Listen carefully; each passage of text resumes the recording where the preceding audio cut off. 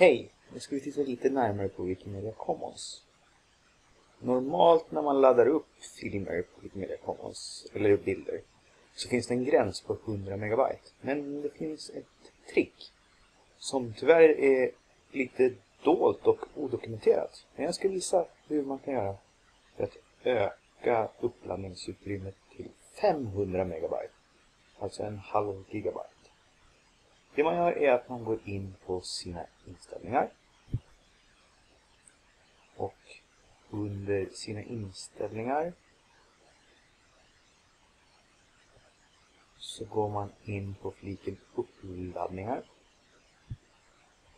Och här finns det under experimentella funktioner bitvis överföringar för filer över 1 megabyte i uppladdningsguiden.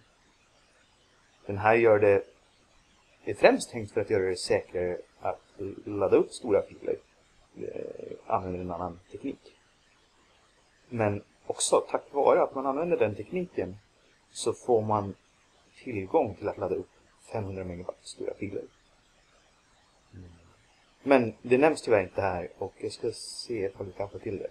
Men bara genom att klicka på i den rutan och trycka spara så har du vips möjlighet att ladda upp 500 megabyte stora filer.